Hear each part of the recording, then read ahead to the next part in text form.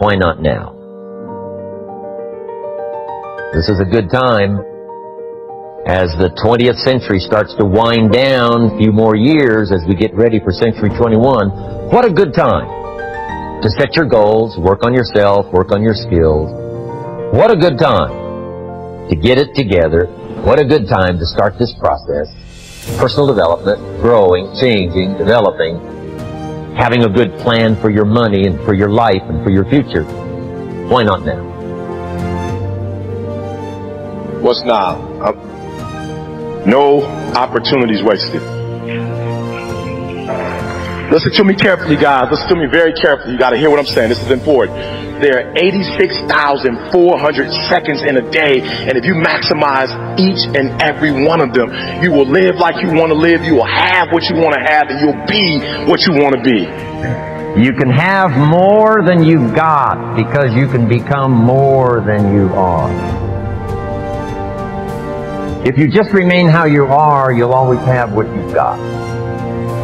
But if you're willing to make changes, the next five years of your life can be totally different than the last five. If you don't change, chances are excellent the next five will be like the last five. For things to change, you've got to change. For things to get better, it's not what happens that determines your future, it's what you do about what happens. Direction determines destination. All you got to do is make a little change in direction to arrive at a brand new destination in two years, three years, five years. You either have to change your life. That is, you got to say, you know what, my body isn't there, I'm going to go work out. My relationship isn't there, I'm going to change it. You know, I'm not making what I got to make, I'm going to retool, I'm going to get a new skill, I'm going to go back to school, I'm going to start a business, I'm going to do something. You have to do something to change your life. Or, in order for you to be happy, you can't change your life, you're going to have to change your blueprint. Usually in life, it requires a little bit of each. Does that make sense? And if you change your, take, change your life and change your blueprint, you can have an extraordinary life. Because all of us are going to have times in our life when what we want or think life should be like isn't going to match how life really is. Those moments, if we blame, our life goes into pain. If we change, we can change our life and match our blueprint.